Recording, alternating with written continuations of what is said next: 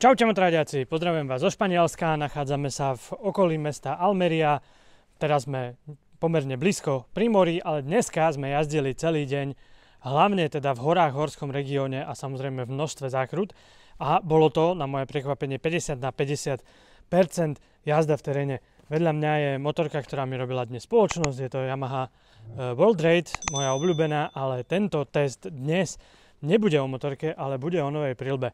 Je to aj pre mňa veľká novinka, e, dostal som tu príležitosť medzi prvými e, ľuďmi vôbec na svete si vyskúšať úplne novú e, prilbu Arai Tour X5. Poďme si o nej teda povedať niečo bližšie.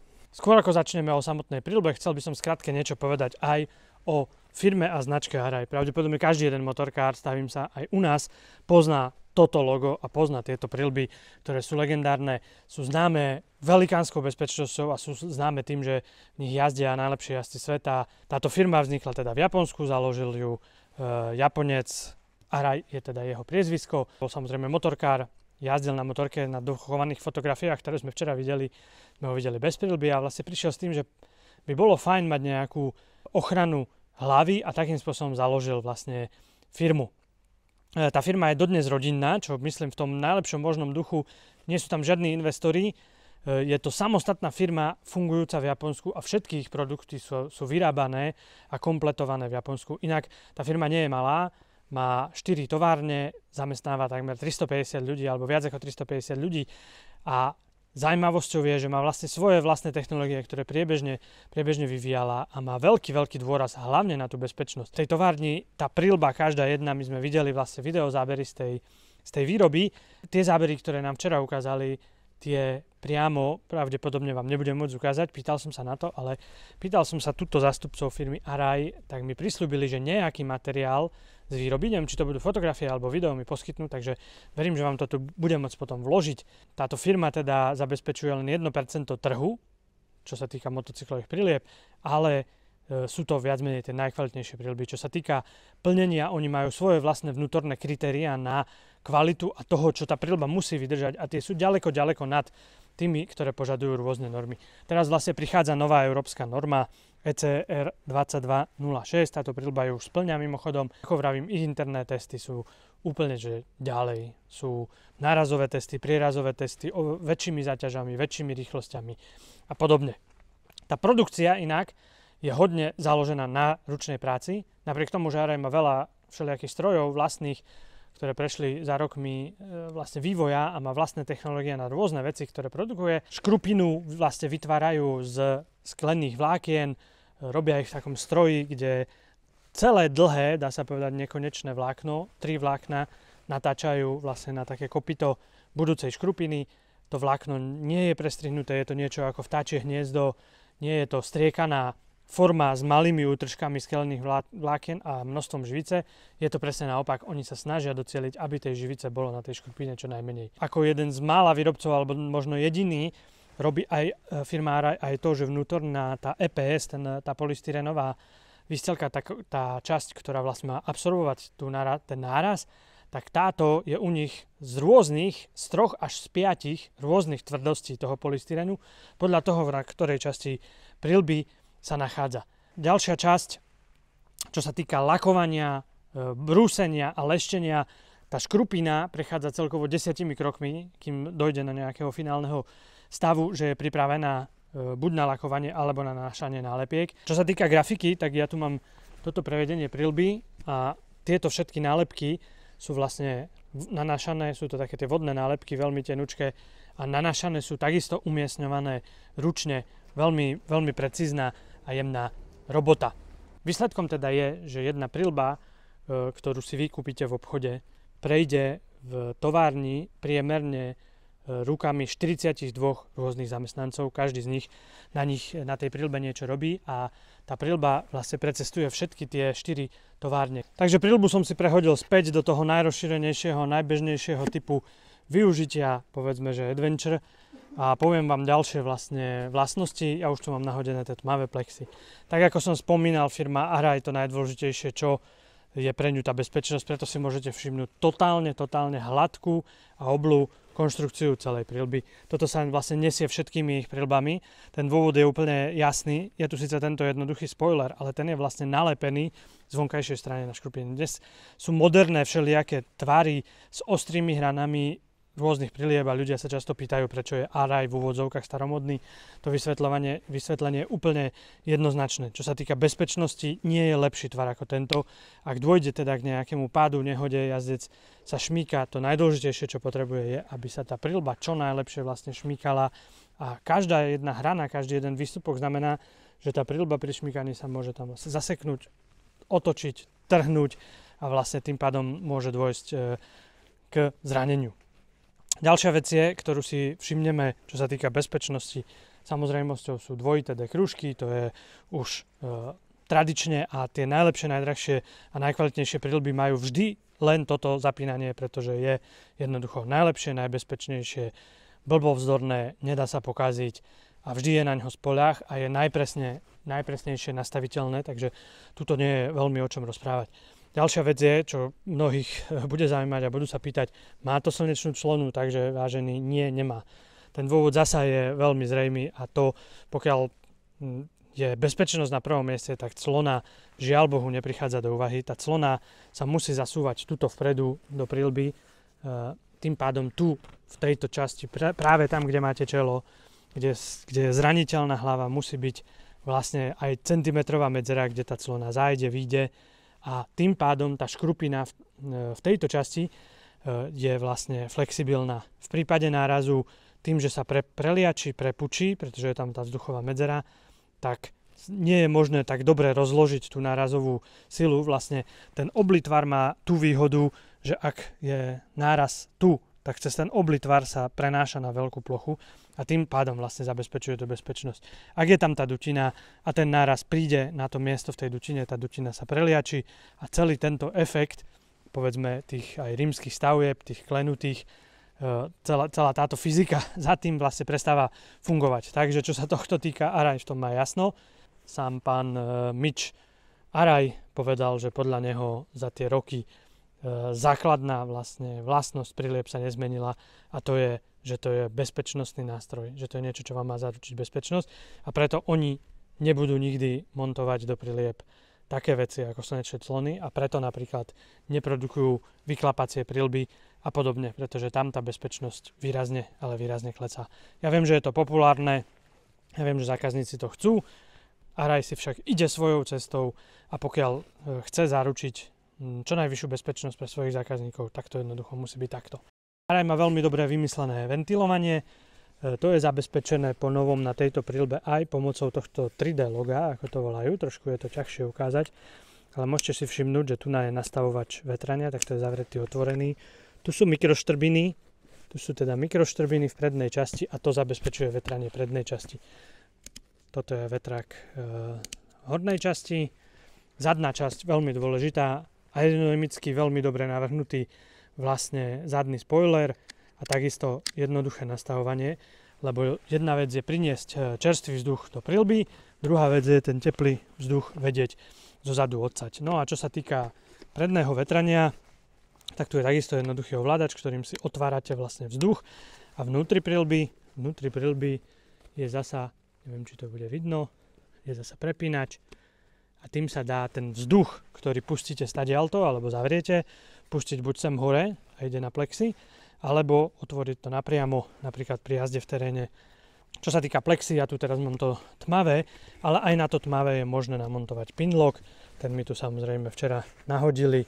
Toľko teda základné vlastnosti prilby. Ja mám veľkosť L, tu je tá hmotnosť 1650 gramov.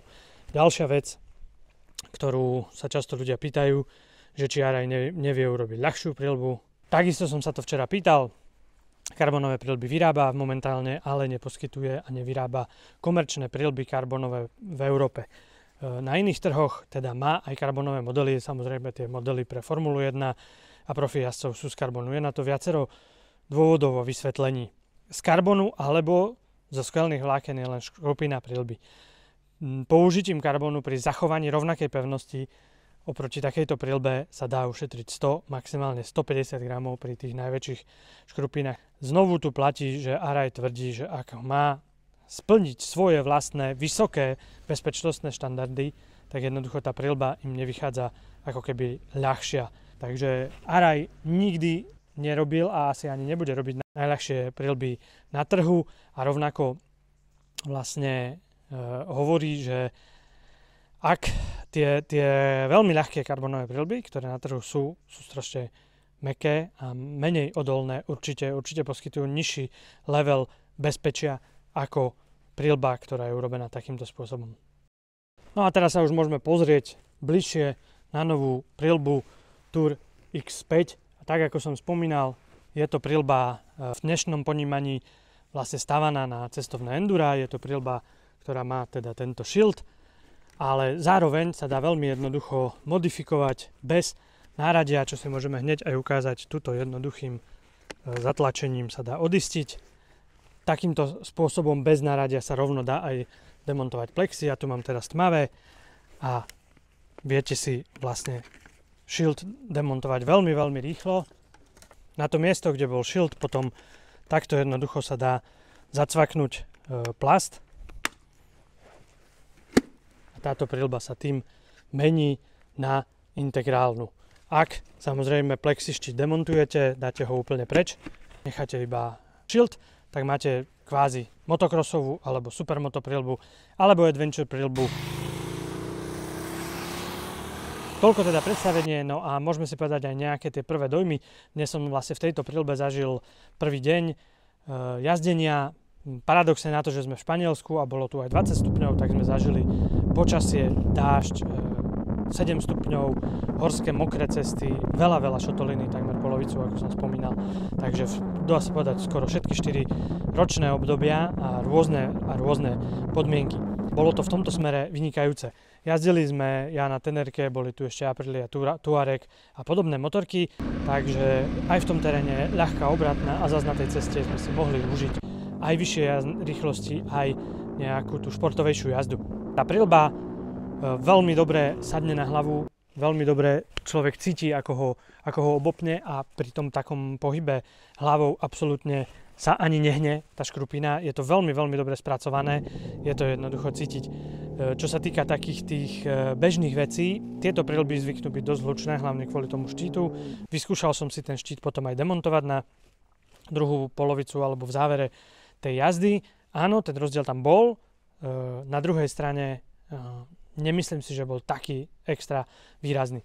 Tie prilby sú dnes e, pripravené aj na montáž interkomu, takže v, tej, v tom priestore uši je vybraté viacej väčšie miesto, plus je tam pripravený taký suchý zips, na ktorý sa dá potom prilepiť ten mikrofón. V samotnej prilbe v zadnej časti je dostatok miesta potom na schovanie tej kabeláže a týchto vecí a hlavne tá bočnica, tá bočná strana tej prilby je jednoliatá a hladká, takže je ľahko možné takýto interkom namontovať. E, na toto tiež mysleli, ale Araj sa nevenuje takisto tomu, aby svoje prilby vyslovene na tie interkomy pripom- pri, pripravoval.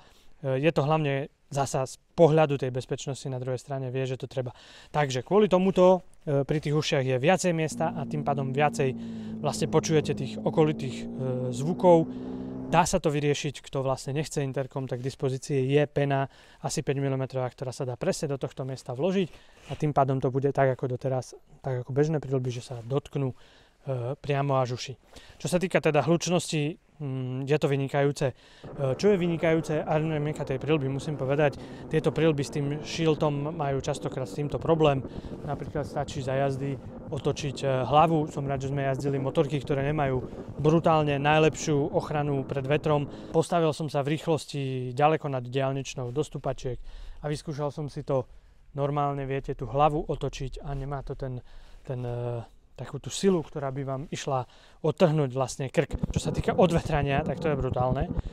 To akože fakt, každý ten ventilačný otvor, keď otvoríte, tak cítite, ako vlastne ten vzduch e, preteka. Hneď to cítite vlastne na vlasoch. Čo som ja v, cítil však, bolo, že som cítil mierny prievan vlastne na očiach, respektíve aj na, aj na tvári, aj na nose, aj na perách som cítil mierny vietor. Postupne som si tie vetraky zatváral, hlavne zatvorenie tohto predného výduchu toto zmierni. Tam je ešte vnútri ten prepínač, ktorým si viete ten vzduch poslať e, pod to plexi, čo je určite fajn z hľadiska nejakého zahmlievania, ale keďže som mal pinlock, tak som to nepotreboval. Keďže bolo chladno, daždivo, tak som postupne tú prilbu kompletne pozatváral a bolo to, bolo to vlastne vynikajúce. Dneska tie motorky sú hodne také, že sa na nich sedí vzpriamene a dneska vlastne ten vzduch častokrát od toho jazdca prichádza pod tú prilbu zo spodu. Využil som aj to, že som si tento zabudovaný bradový deflektor vlastne vysúval do tejto polohy, ale napriek tomu som cítil ešte stále nejaké mierne, uh, mierny prievan do očí. Keď som si za jazdy dal takto ruku pod prilbu a som to vlastne utesnil, toto absolútne zmizlo. Samozrejme do tej prilby absolútne nikde nefučí, je úplne uh, kvalitne spracovaná má veľmi presné tieto gumičky a to dosadanie toho plexi. Rovnako to plexi má ideálny vlastne oblý, oblý tvár, čo súvisí s tým, čo som hovoril a vďaka tomu nerobí žiadne také vizuálne deformácie a je strašne veľký ten, ten e, výzor. Do prilby absolútne nefúka e, iba keď, tak zo spodu záleží, či sedíte na nahači, na spriamenej motorke, ako tak. Dá sa to vyriešiť tým, že v ponuke je aj väčší bradový deflektor, tak ako to býva a tento to by mal už 100% vyriešiť. Po obede som teda, ako vravím, dal dole aj ten shield, jazdili sme v rýchlostiach uh, ďaleko nad diálničnými a tá prilba v tom integrálnom prevedení na nerozoznanie od plnohodnotnej integrálnej plyny. Mám, mám v pláne aj takýmto spôsobom ju potom používať na cestných motorkách, na naháčoch, bez teda Eh, toho šiltu a so šiltom potom na adventure a prípadne teda aj s okuliarmi. V tomto smere je to e, parádna vec. Za mňa teda vynikajúce dojmy, veľmi, veľmi chválim to, že je možné ten šilt takto rýchlo prehadzovať a vymieňať na tej prilbe. To sa mi veľmi páči, to tá štvorka predchádzajúci model nemal. Toto je vynikajúca vec. E, prilba je fakt kvalitne spracovaná, fakt je to radosť na ňu pozerať, tie detaily to, tá, tá kvalita toho spracovania cítiť na každom jednom milimetri tej prilby, vyzerá vynikajúco a samotný pocit z nosenia a jazdenia na nej je teda vynikajúci. Toľko teda odo mňa zo Španielska a prvé, prvé fakt, prvé skúsenosti s touto prilbou. Ja sa chcem poďakovať importérovi značky Araj, že vlastne prvýkrát e, pozval aj niekoho teda z takejto menšej krajiny. Ako je Slovensko, nebývalo to úplne, úplne že štandardné, takže sa tomu teším. E, ceny týchto prilieb e, nie sú doslova že najmenšie, ale tak ako máme premiové motorky a predávajú sa na Slovensku, tak máme aj premiové značky prilieb a zasa tá cena možno bude o trošku vyššia ako niektorá konkurencia, ale myslím si, že hlavne pre toho, komu záleží na tej bezpečnosti, tak by mal nad e, touto prilbou alebo touto značkou určite pouvažovať. Takže ešte raz ďakujem importérovi značky Araj za to, že ma sem do Španielska pozval a ako vždy ďakujem aj vám za to, že sledujete Motorite SK. A vidíme sa na budúce. Čaute.